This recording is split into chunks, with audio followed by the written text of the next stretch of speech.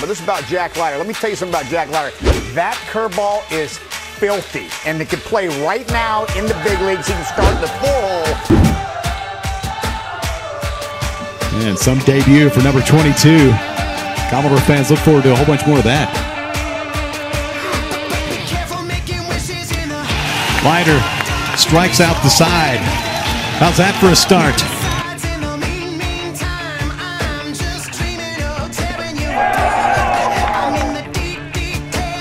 Ryder.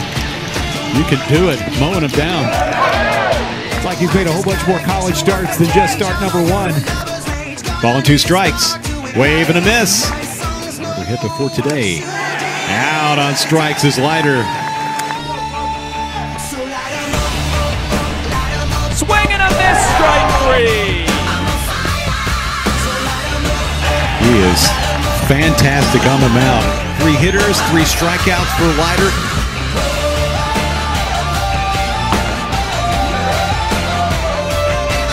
10th strikeout for Leiter. Wave and a miss. Leiter strikes out Potvin. Jack Leiter has been outstanding. Sandel on the breaking pitch. Powers away on the fastball.